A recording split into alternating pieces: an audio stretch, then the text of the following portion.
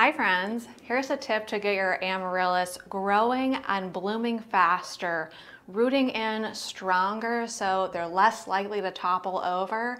And also when you go ahead and you do this tip, you'll get earlier and more vigorous leafy growth from your amaryllis bulbs. Now, this tip comes to us from Cornell and Kansas State University. In 2013, they were doing a lot of trialing and recording their trials trying to really figure out how to produce the most uniform amaryllis plants that could then be sold to a consumer. How could they really get early and vigorous leafy growth? And also how could they produce amaryllis stems that could hold themselves upright in the pot without toppling over? And what they found, and the tip is, to soak your amaryllis bulb's roots in room temperature water, 68 to 70 degrees Fahrenheit, for 12 to 24 hours prior to planting.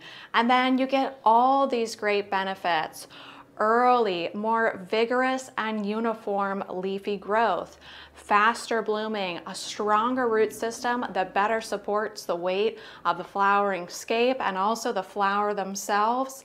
And they trialed it against bulbs that of course were not soaked at all. And they also tried some bulbs that were soaked for one hour. They discovered, of course, there was a significant difference between bulbs not soaked at all and those soaked. But interestingly, bulbs soaked for one hour, they didn't see any difference at all in their performance. So they're really telling us with their research to go ahead, soak our bulbs roots only. And I'm just using just a basic glass for this to keep the roots in water and the bulb out of water 12 to 24 hours prior to planting. Now, you probably know that I'm really an amaryllis enthusiast. So when I discovered this wonderful study, I wanted to give it a try here in my home. I really wanted to see the difference for myself and I'm really excited to share what I found with all of you. So what I decided to do was I got three of the exact same bulb from the same supplier. These are all a doubled amaryllis, beautiful, isn't it? Called Alaska. I planted them on the same day into the same pot, I used the same medium, I watered them the same, they all lived in the exact same location. The only difference was I soaked these two in water for, I would say it was probably about 13 hours exactly. And this one, I didn't soak at all. At about three weeks, these were blooming. And this particular bulb right here is on its third flowering stem. I just happened to cut some of them because they were kind of all blooming together and I wanted to enjoy some by my bed also. But isn't that difference phenomenal? Soaked versus not soaked. I almost thought something was wrong with this particular ball, but I do see its broken dormancy. I see a leaf. I see a flower bud right here. And back by me, I see another flower bud. It looks like it even has a baby. So it is growing and it will catch up. But I just thought trying out this Cornell experiment here in my own home was so fascinating. And look at this. This is the amaryllis that we planted together 15 days ago. 15 days.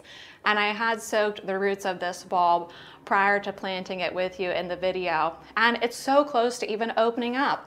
I can see the little separation that starts to happen in the bloom stalk. This will probably start to fully separate in two days. And I would say five to six days, it'll be in full bloom. So what does that take us? 20, maybe 25 days from planting to bloom? two bloom stalks, but the leaves and the uniformity of the leaves again was what was really interesting to see. Five leaves coming out of here. Um, let's see, one, two, three, four. Seven leaves coming out of this one six leaves coming out of this one. But once again, they really did come out kind of all the same uniform growth. And that's what this study was really going for. Eh, my understanding at least is that the study was done for those who would sell potted amaryllis. How can those people get them growing and provide a uniform plant to the consumer that's not going to topple over in a display. But we can certainly use this tip in our own homes. So friends, I just thought this was such a great tip. It's the first time I've ever soaked an amaryllis. I just adore amaryllis, you know that, ever since I was a little girl growing them with my grandma, but we never soaked the roots. I had never heard that before. So I'm going to link the study in the description below. I'm going to link the website and then I'm going to attempt to link the PDF. But just know if you go to the website, you need to scroll down and click the PDF so you can see the full study and the pictures. The pictures are really, really helpful and interesting of bulbs that weren't soaked and bulbs that were soaked. Well, I hope you find yourself surrounded with amaryllis today and I'll see you sometime soon. Bye.